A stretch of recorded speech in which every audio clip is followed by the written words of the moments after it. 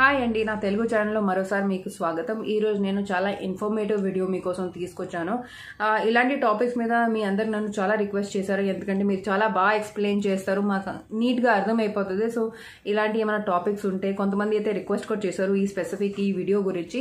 So దానివల్ల నేను ఈ వీడియో మీకోసం తీసుకొచ్చాను ఈరోజు ఇందులో ఏంటంటే నేను వెజైనల్ ఇన్ఫెక్షన్ గురించి మాట్లాడబోతున్నాను అనమాట సో వెజైనల్ ఇన్ఫెక్షన్ వచ్చేసి చాలా కామన్ ఫోర్టీన్ ఇయర్స్ నుంచి సెవెంటీ ఇయర్ ఉమెన్ వరకు ఎవరికన్నా అవ్వచ్చు మ్యారీడ్ ఆర్ అన్మ్యారీడ్ ఎవరికైనా వెజైనల్ ఇన్ఫెక్షన్ అనేది అవ్వచ్చు సో వెజైనా ఇన్ఫెక్షన్లో కొన్ని టైప్స్ ఉన్నాయి number one infection type is bacterial vaginosis infection bacterial vaginosis ఇన్ఫెక్షన్లో ఏంటంటే మీ వెజైనా నుంచి స్మెల్ వస్తుందన్నమాట. అది మీరు గమనించినట్లయితే ఒకవేళ స్మెల్ ఎక్కువ అయితే automatic you will come to know that you know something is wrong so ఆ స్మెల్ అనేది ఎక్కువ అయినప్పుడు మీరు అర్థం చేసుకోవాలి ఇది బ్యాక్టీరియల్ ఇన్ఫెక్షన్ అవ్వచ్చు. సో అప్పుడు మీరు డాక్టర్కి విజిట్ చేస్తే వాళ్ళ విఫ్ అని ఒక టెస్ట్ ఉంటుందన్నమాట. దాంట్లో అది మన యూరిన్ టెస్ట్ని చేస్తారు. పొటాషియం హైడ్రోసైడ్ మీద యూరిన్ డ్రాప్స్ వేసినప్పుడు కానీ దాంతో మిక్స్ అయినప్పుడు స్మెల్ అనేది ఇంక్రీజ్ అయిపోతుంది. అంటే పొటాషియం హైడ్రోసైడ్ దాన్ని టెస్ట్ చేయప్పుడు మిక్స్ చేసినప్పుడు బాగా ఎక్కువ స్మెల్ వస్తుంది.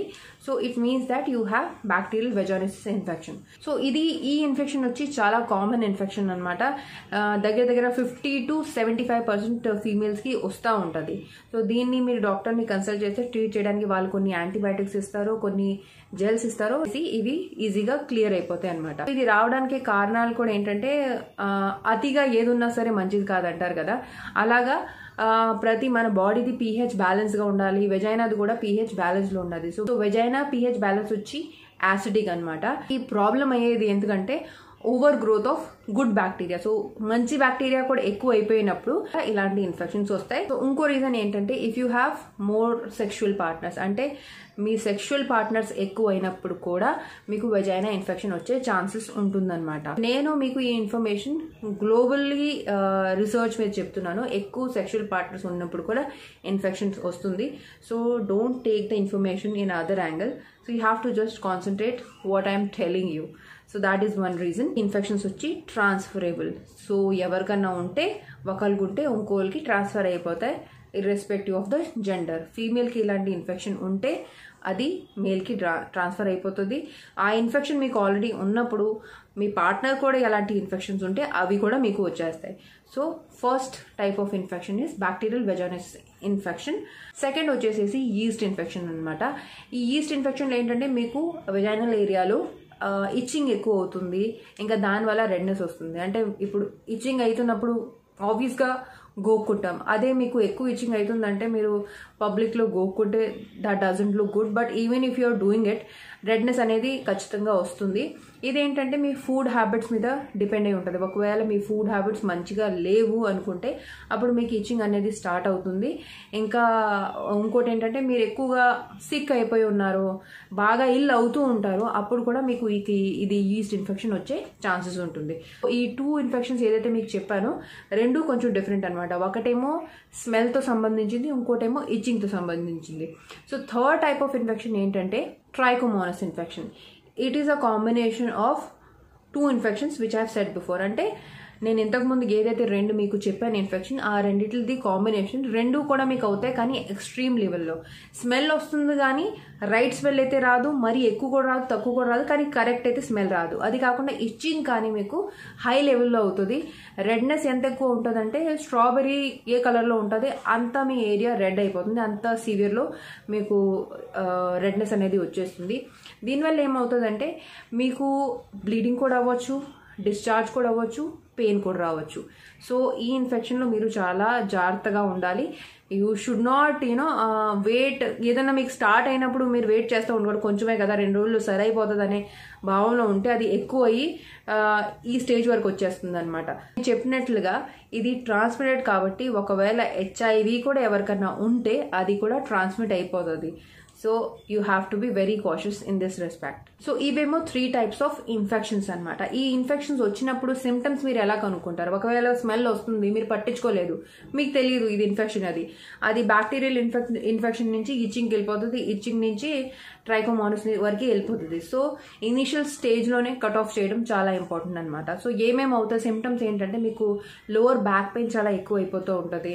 మనం అనుకుంటాం లోవర్ బ్యాక్ పెయిన్ ఎక్కువ అవుతుందంటే ఇంట్లో మనం ఏమో తుడుపులు ఎక్కువ క్లీనింగ్ ఎక్కువ చేసేస్తాం అందుకనే లోవర్ బ్యాక్ పెయిన్ వచ్చేస్తుంది అని అనుకుంటాం అది కూడా ఒక కారణం అయి ఉండొచ్చు. అది కాకుండా ఒకవేళ మీకు వెజైనల్ ఇన్ఫెక్షన్ ఈ త్రీ టైప్స్లో టైప్స్ ఆఫ్ ఇన్ఫెక్షన్లో ఏదైనా ఉంటే కనుక కూడా అది కూడా ఒక కారణమే అనమాట సో మీకు లోవర్ బ్యాక్ పెయిన్ సివియర్గా అయిపోతుంది. ఏం చేసినా రెస్ట్ తీసుకున్నా తగ్గట్లేదంటే కనుక you should visit doctor so అది కాకుండా మీకు లోవర్ అబ్డామన్లో కూడా పెయిన్ వస్తుంది.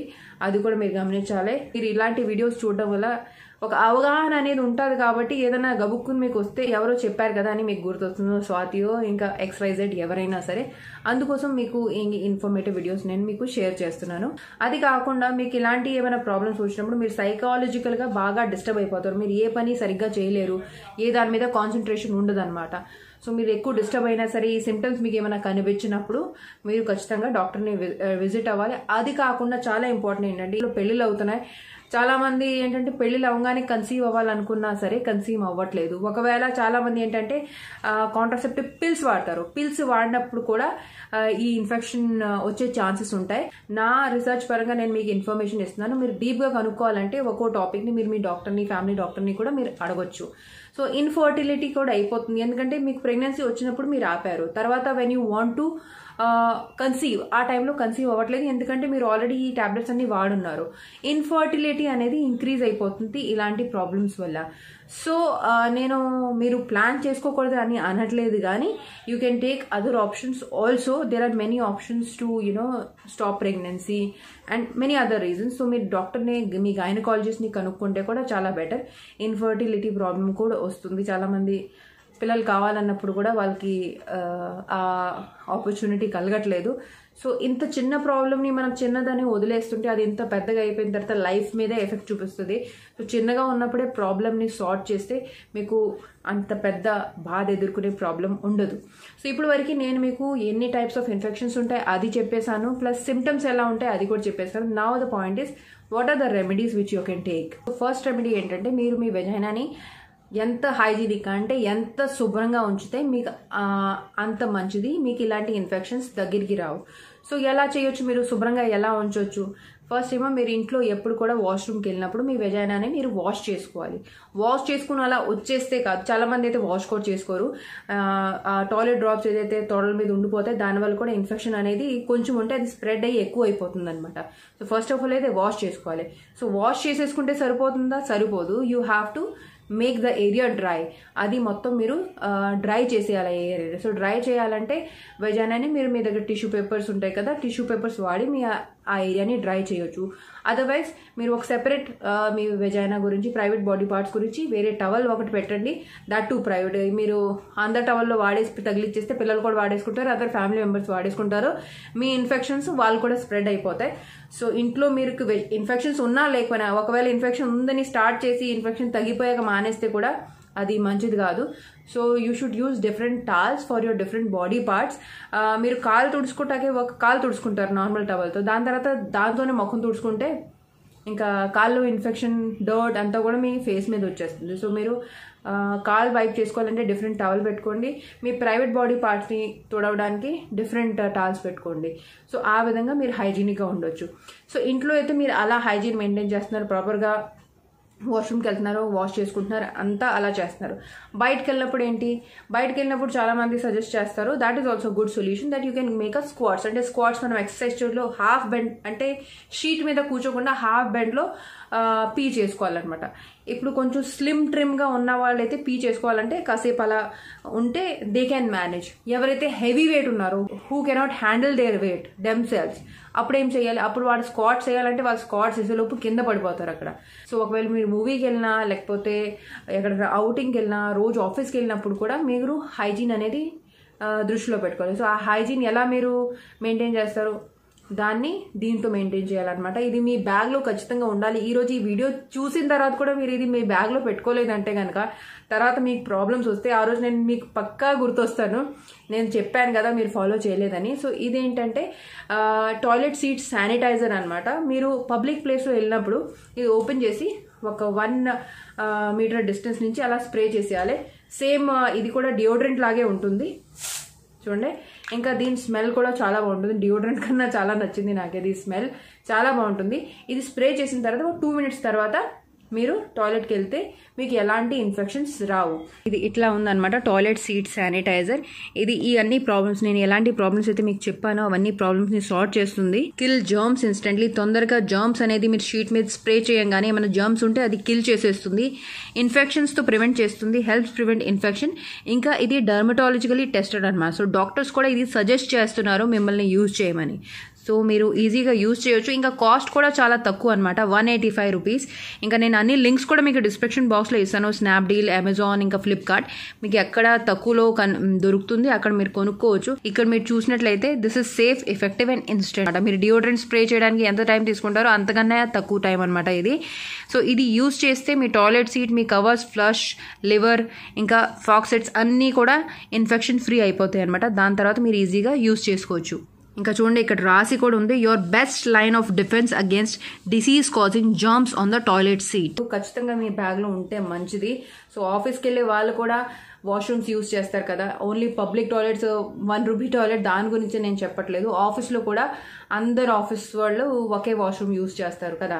సో దాని మీద కూడా మీకు uh, ఇన్ఫెక్షన్ వచ్చే ఛాన్సెస్ ఉంటాయి కాబట్టి మీరు యూస్ చేసే అంటే టాయిలెట్ షీట్ యూజ్ చేసే ముందు Indian or western whatever you're going to use నేను ఓన్లీ వెస్ట్రన్ కోసమే చెప్పట్లేదు. ఏ దానికైనా మీరు యూజ్ చేయొచ్చు. It will smell good because it has a very good smell so infection free కూడా అయిపోతారు. ఇంకా మీ వెజైనా నుంచి ఎటువంటి స్మెల్ కూడా బయటికి రాదు. నెక్స్ట్ సొల్యూషన్ uh, ఏంటంటే ఇది ఇన్ఫెక్షన్ ట్రాన్స్ఫర్ అవుతుంది కాబట్టి నేను చెప్పాను కదా. So partners before having intercourse proper safety అనేది యూజ్ చేయాలి. ఒకవేళ ఎవరికి ఇన్ఫెక్షన్ ఉన్నా సేఫ్టీ ఏంటి? కాండమ్స్ వాడాలి. సో అప్పుడు ఈ ఇన్ఫెక్షన్స్ అనేది ట్రాన్స్ఫర్ అవ్వవు ఎవరికి so you will be safe ఇంకా అది కాకుండా ఈ రోజుల్లో చాలా మంది పార్లర్స్కి వెళ్ళి బికినీ వ్యాక్స్ చేయించుకుంటారు. So bikini wax చేయించినప్పుడు they use different towels to wipe your bikini area ఇంకా బెడ్షీట్స్ ఉంటాయి. అవి వేరే వాళ్ళు కూడా దాని మీద పడుకుని వెళ్ళి ఉంటారు సో అలాంటప్పుడు మీరు ఎంతో ఖర్చు పెడుతున్నారు ఒక బికినీ వ్యాక్స్ చేయించుకోవడానికి. అలాంటప్పుడు కొన్ని ప్రికాషన్స్ ఇంకా తీసుకోవాలి. మీరు వాళ్ళని బెడ్షీట్ మార్చుకోవాలి కొత్త సెట్ ఆఫ్ టవల్స్ అడగాలి. Use only fresh towels for us you can make out కదా. మంచి ఫ్రెష్ టవల్స్ ఏంటి వాడిన టవల్స్ ఏంటి మనకు అర్థం అవుతాయి కదా. So you have to make sure వాళ్ళు ఫ్రెష్ యూస్ చేస్తున్నారా లేదా? ఇంకోటి ఏంటంటే డెలివరీ టైంలో మనం హాస్పిటల్కి వెళ్ళినప్పుడు వాళ్ళు బికినీ ఏరియాని రేజర్ కూడా చేస్తారు.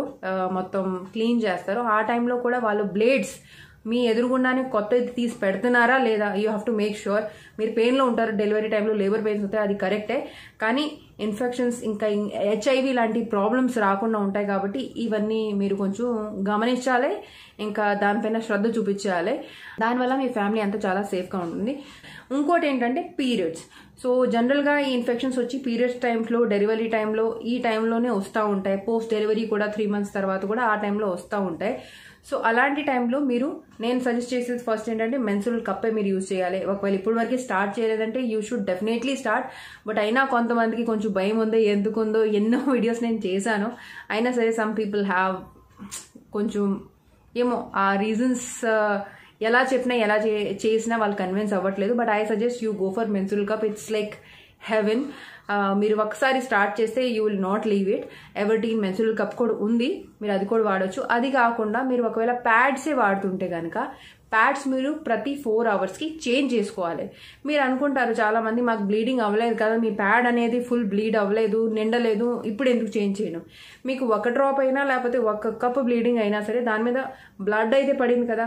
ఆ బ్లడ్ పైనప్పుడు కొంచెం సేపు తర్వాత దాంట్లో బ్యాక్టీరియా అనేది స్టార్ట్ అవుతుంది ఫంగస్ అనేది స్టార్ట్ అవుతుంది. ఫంగస్ స్టార్ట్ అయిందంటే అది మీ వెజైనలో వెళ్ళి ఇన్ఫెక్షన్ కాకుండా ఇంకా రకరకాల భయంకరమైన డిసీజెస్ కూడా తీసుకొచ్చేస్తాయి. దీన్ని అయితే మీరు తర్వాత క్యూర్ కూడా చేయలేరు.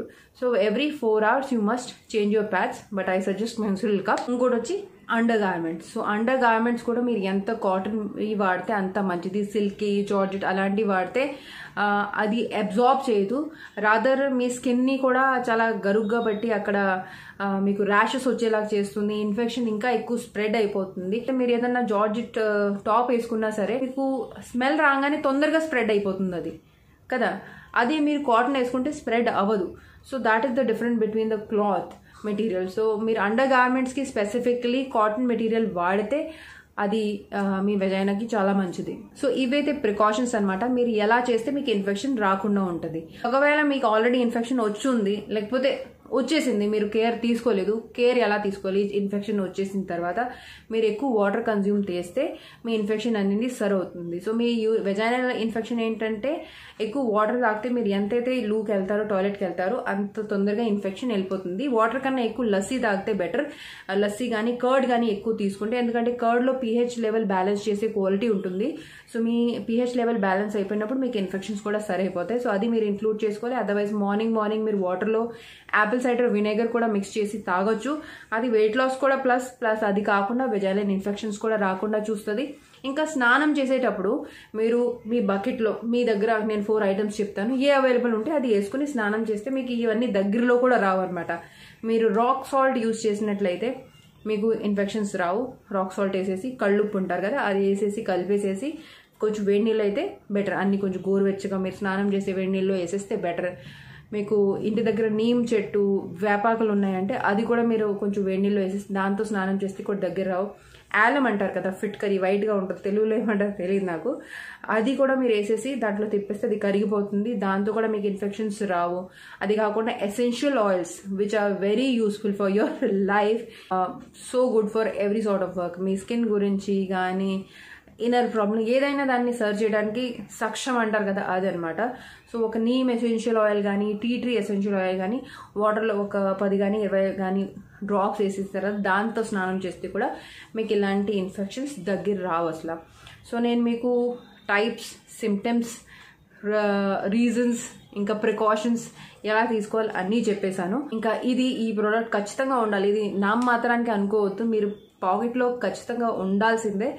లింక్స్ డిస్క్రిప్షన్లో ఇచ్చాను. సో ఈ వీడియో మీకు చాలా ఇన్ఫర్మేటివ్గా ఉంటుందని నేను భావిస్తున్నాను. ఒకవేళ ఉందంటే కనుక కింద లైక్ బటన్ ఉంది కదా దాన్ని నొక్కేసి నన్ను మోటివేట్ చేయడానికి ఆ లైక్ని నొక్కేసేయండి.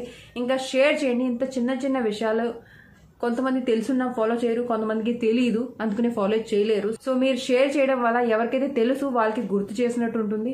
ఇంకా ఎవరికైతే తెలియదు వాళ్ళకి తెలియజేసినట్టు ఉంటుంది. ఇంకా సబ్స్క్రైబ్ నా ఛానల్ని చేసుకోవచ్చు మీరు. మీకు ఇలాంటి మంచి మంచి ఇన్ఫర్మేషన్ నేను టైం టు టైం ఇస్తూ ఉంటాను. సో నేను ఎప్పుడు కూడా స్టార్టింగ్లో అనను నా ఛానల్ని సబ్స్క్రైబ్ చేయండి లైక్ చేయండి షేర్ చేయండి. ఎందుకంటే నా ఉద్దేశం ఏంటంటే మీకు వీడియో నచ్చితేనే you take decision whether you have to give like share subscribe so మీకు నచ్చితేనే నా మీరు డిసైడ్ చేసుకుని అది చేసుకోవచ్చు. సో నేను మరో వీడియోతో మీ అందరికీ కలుస్తాను. అప్పటి వరకు సెలవు. Bye bye